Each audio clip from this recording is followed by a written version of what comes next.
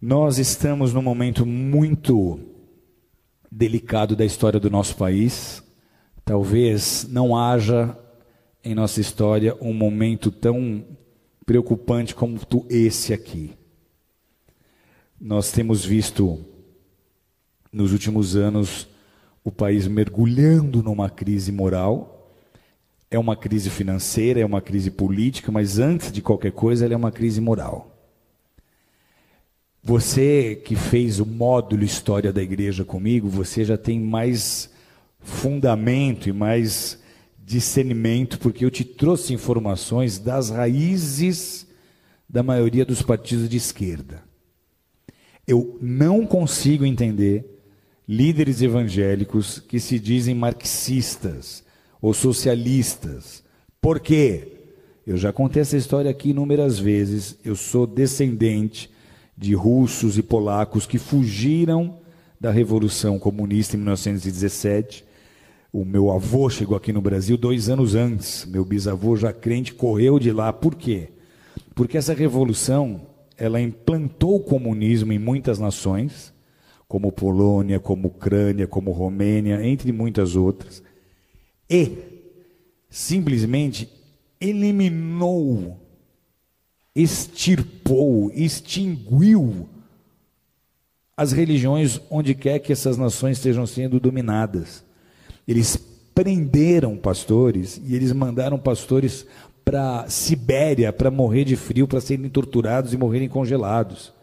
O bloco da União Soviética ele mergulhou numa, numa densa treva espiritual, numa densa escuridão espiritual por 70 anos. Você chega na Rússia hoje e tenta pregar o evangelho, as pessoas não têm ideia nem de que seja Jesus. E essa filosofia é a filosofia que move todos os partidos de esquerda. Os ideais desses partidos são os mesmos ideais de Karl Marx, são os mesmos ideais de Engels. Na loucura da, das suas ideias revolucionárias, eles começaram a pregar e a ensinar que a desigualdade social que eles deveriam combater começa na família. Eles começaram a dizer que antigamente, se você lê a, a literatura que fundamenta as ideias desses partidos, eles começaram a pregar que a desigualdade social ela começa na família, porque lá atrás, segundo eles, quando nós viemos dos macacos, não havia marido e mulher. Todo homem era de toda mulher, toda mulher era de todo homem, e os filhos não eram de ninguém, os filhos eram de todos, como os animais. E todos dividiam e compartilham tudo aquilo que eles tinham.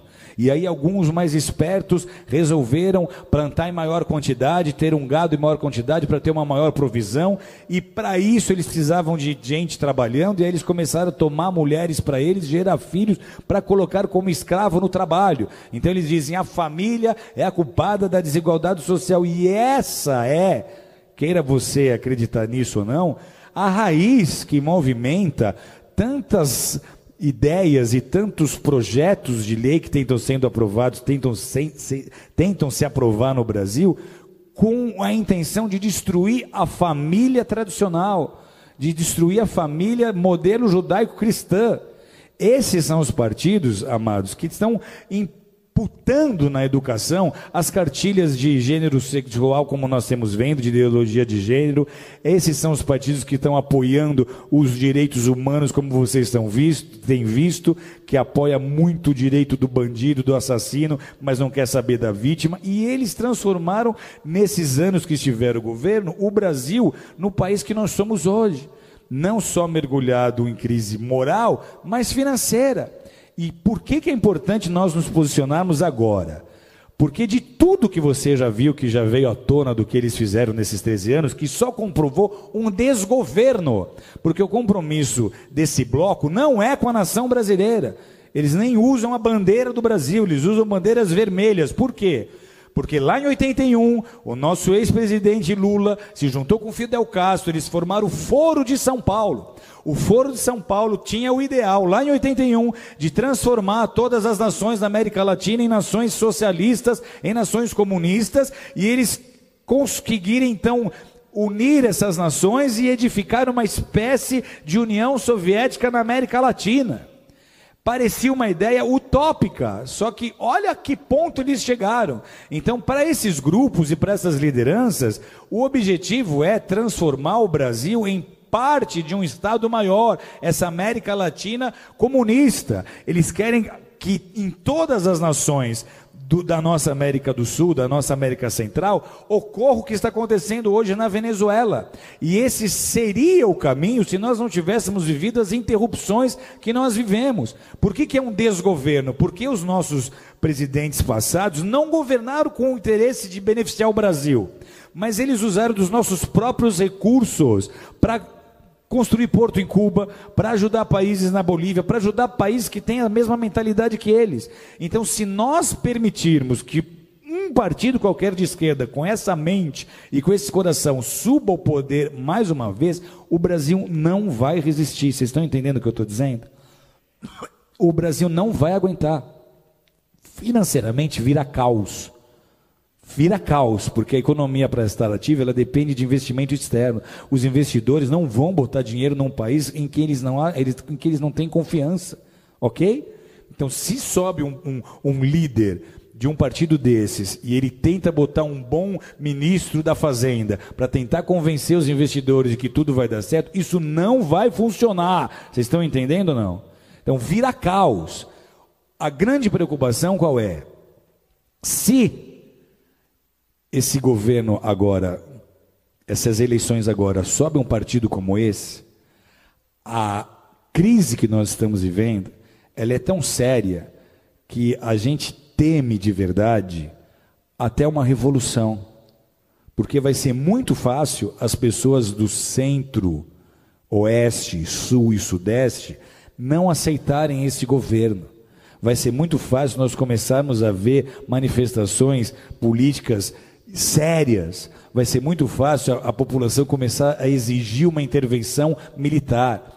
Uma intervenção militar era um assunto nem cogitado em rodas de bar há dois, três anos atrás, mas hoje está se tornando um assunto em pauta. Porque se nada acontecer, amados, alguém aqui conhece alguém que morou na Venezuela, que veio da Venezuela? A Venezuela, até muito pouco tempo atrás, era um país próspero. Eles têm petróleo. Sabe o que, que falta hoje na Venezuela? Falta papel higiênico. Sabe o que, que aconteceu há quatro anos atrás? Eu estou numa sauna no Vale Nevado, conversando com um venezuelano que tinha ido esquiar. E ele conta: a Venezuela está faltando papel higiênico. Isso há quatro, cinco anos atrás. E eu falo, mas como é que começou isso? Ele fala, começou como está acontecendo com o Brasil. Começou trazendo médicos de Cuba. Então, tudo que eles fizeram na Venezuela, eles iam tentar fazer no Brasil. Se nós dermos a oportunidade deles subirem ao governo de novo, não será mais como foi da primeira vez. Você não vai ver o Lulinha paz e amor. Você vai ver o Lulinha revolucionário que vai tentar implantar o modelo político que ele acha que é o melhor para o Brasil. Sabe o que, que acontece com a igreja num cenário como esse? Tem ideia ou não? Primeiro, os nossos valores já estão sendo desprezados. Nós, para eles, somos o ópio do povo. Eles não veem valor naquilo que nós fazemos. O marxista raiz, ele é ateu. O evangelho para ele não significa nada. Ok? Então, para a igreja, esse é o pior cenário possível. Deus está no controle, sempre esteve, sempre estará. Mas a gente transforma uma nação com oração e com consciência na hora de votar. Amém? Então, o que, que eu disse ontem aqui? Votem nos candidatos que vocês simpatizarem, que vocês acharem que, que tenha a, a sua representatividade, mas que sejam honestos, que sejam ficha limpa, porque não vai ter mudança se vocês continuarem votando nas mesmas pessoas, ok? Está na hora de renovar, procura avaliar quem que você vai votar, se vale a pena, está envolvido em escândalo, não está, comprovadamente roubou, não roubou, é corrupto, não é corrupto. Vote só em quem é ficha limpa. Que mais? Pela primeira vez nesses anos todos, nós temos um candidato que realmente tem chances concretas de interromper esse ciclo. Com tudo que nós vimos acontecendo com Lula, com Lula preso e com todo o desprezo que a classe média tem tido pelo PT, é incrível como as chances do PT reeleger um presidente são reais e concretas. Ou o PT ou algum partido de esquerda aliado ao PT. Então, seja o Haddad, seja o Ciro, qualquer um deles que tiver o mesmo coração, que fizer parte desse bloco, que fizer parte do Fórum de São Paulo, nós teremos as mesmas dificuldades a serem enfrentadas. Estão entendendo comigo ou não? Então, o que, que eu quero que vocês considerem? É a primeira vez em todos esses anos que a gente tem um candidato de direita de verdade, que pode não ser o melhor preparado, pode não ser o mais inteligente, o mais sensível, o mais polido, o que tem a melhor oratória, mas é o único que tem a chance de interromper esse plano de governo eterno que os partidos de esquerda sonham em construir, ok? Se você não decidir o seu voto, eu te convido a avaliar o que você vai fazer, porque o que eu estou vendo é, um, é uma, uma, certa divisão entre os evangélicos. Um quer votar no Alckmin, um quer votar na Marina, outro quer votar no Cabo da Ciolo, outro quer votar. E a gente não está percebendo a gravidade da situação. Amém? Geraldo Alckmin é meu amigo, gosto dele, confio nele, gostaria de estar podendo apoiá-lo, mas infelizmente ele não mostrou expressão até agora. E o que, que fez ele perder muitos votos dos evangélicos? Ele era um católico que era pró-família, mas nessa eleição ele resolveu abraçar grupos LGBT e correu na internet, correu em grupos de lideranças de pastores, fotos dele abraçado com, com lideranças LGBT. Então, não são os meus valores, não vai me representar. Eu estava numa mesa com seis grandes líderes e todos foram unânimes. Não tenho mais como apoiar e andar junto porque ele não tem posição. Ele quer agradar todo mundo e não vai agradar ninguém. Marina Silva, ela já esteve aqui na igreja.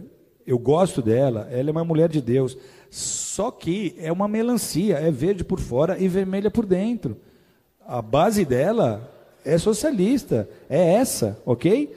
Ela, ela anda junto com missão integral, ela anda junto com, com, com, com, a, com a teologia da missão integral, com a teologia da libertação, que é o equivalente ao socialismo barra comunismo na igreja católica e na igreja protestante. Ok? E, amados, não vai ter muita mudança. Então, quem que vai mudar? Alguém que realmente represente os nossos valores. Marina tinha tudo para ser essa pessoa mas ela falhou em não se posicionar em assuntos importantes para nós. Então ela também foi na linha de vamos agradar a todos e colocou de vício um maconheiro, um pró-drogas. Então como é, que, como é que a gente vai entrar nessa barca? Então quem que sobra? Quem que sobrou? É o único candidato que está tendo chance realmente de mudar o cenário desse país. Não é o mesmo, não é o melhor preparado. Concordo, não é. Só que é o único que a gente está tendo chance de, de ver agora entrando com força e interrompendo pelo menos esse processo que foi o que aconteceu nos Estados Unidos com Donald Trump. Amém? Olha como a mídia perseguiu Donald Trump. E quando eu vejo quem são os inimigos do Bolsonaro, eu falo, eu estou escolhendo o cara certo para votar. Porque ele representa aquilo que eu acredito. Ele é pró-família, ele é pró-Deus, ele é pró-valores, ele é pelos nossos princípios e mais, ele tem a chance de eleger e de, de destacar ministros capazes, os melhores em cada segmento, porque ele não tem alianças com outros partidos. Como que uma aliança com outros partidos acontece? A gente vai fazer aliança, mas quando você entrar, esse ministério é meu, esse é meu, esse é meu. Ele não fez com o Lúcio com ninguém. Então ele vai ter chance de botar o Paulo Guedes na fazenda e, e os melhores e os mais capazes em cada segmento, em cada setor, ok? Essa é só a minha opinião. Se você tem outra opinião política, e saiba que eu te respeito, não quero manipular o seu voto, eu só quero te alertar para o cenário político e espiritual, porque isso anda junto.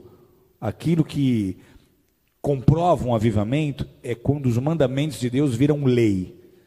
Quando numa nação aquilo que é contrário ao mandamento de Deus vira lei, é porque o inferno está prevalecendo mais do que o reino de Deus. Tudo bem? Então é só para te dar um alerta, é só para abrir os seus olhos espirituais, é só para que você faça um voto consciente. Se você já tem sua convicção política, vá nela. Mas se você aceita o meu conselho, aceita a minha sugestão, Meu coração é: nós temos que nos unir, porque é a chance que nós temos de interromper esse processo. Se mais um partido de esquerda subir ao poder, o Brasil não aguenta mais quatro anos e nós vamos mergulhar numa depressão profunda que daqui a pouco não, vai, não sei nem se você vai querer continuar morando no Brasil. Aqueles que quiserem, que tiverem chance, vão começar a ir embora. Vai acontecer o que aconteceu na Venezuela, ok? É a chance que nós temos de interromper esse processo. Quem pode aplaudir forte a Jesus? Eu vejo, eu vejo pessoas assustadas porque ele é militar e o geral, general Mourão também. Ah, principalmente o pessoal da classe artística que sofreu na época da ditadura. Estava minha irmã em Cristo aqui, a Baby. E ela me mandou uma mensagem: Meu Deus, não podemos deixar os militares, esses caras são casca. Eu tive uma amiga que foi torturada, botaram ela na cela com um rato, esses militares são tudo louco. Eu falei: era outra época, outra oportunidade, outra situação. O que ele falou que, é, tá, que eles estão usando contra ele agora, você vê até que ele era 20 anos mais novo. Isso foi há 20 anos atrás. A mentalidade dele é outra realmente, quando ele colocou um general de vice, eu me assustei, mas eu assisti o general Mourão numa palestra para economistas. E ele deu show. E ele conquistou o coração dessa liderança de, de economistas, dos líderes investidores do mercado. Então a coisa está muito propícia para a gente ter uma mudança que seja favorável à Igreja de Jesus. Amém, amados? Bolsonaro não me deu um centavo para falar isso para ele. Conversei com ele quatro, cinco vezes. Pessoalmente, acho que tem outros candidatos mais preparados do que ele, mas agora não é o mais preparado. Agora é o que tem chance de interromper esse, esse, esse plano de dominação do Brasil e da América Latina. Amém? Se de alguma forma esse discurso te ofende, o despreze. Mas se você recebe um conselho de pai, nessa hora nós temos que nos unir pelo que for melhor para a igreja e para a nossa nação. Amém? Pode aplaudir forte a Jesus, porque Ele é santo.